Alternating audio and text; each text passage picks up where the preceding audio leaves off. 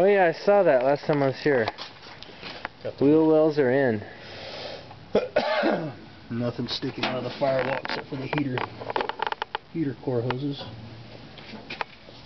It's a good idea the way he did that. No, Cleans it all up in there. it's yeah, he did an excellent job, man. Oh Dan.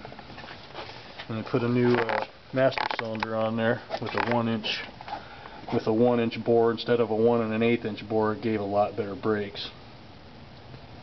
With no vacuum, it's kind of hard to have brakes with no vacuum. Right, so you're squeezing it through the whole smaller hole to give it more power, Yeah. essentially. Yep. Okay. Which in standard hydraulics doesn't make any fucking sense because the bigger the piston, the more power you get on like a hydraulic press. Yeah, But for some think. fucking reason, the smaller bore on this gives you a better power. I don't know. I'm retarded when it comes to that stuff, so. So this engine's going bye-bye. This excellent running engine is going bye-bye in place of the 502. It's for sale. Yep, that's right. If anybody needs a good 454 that puts out about 500 horses, here it is.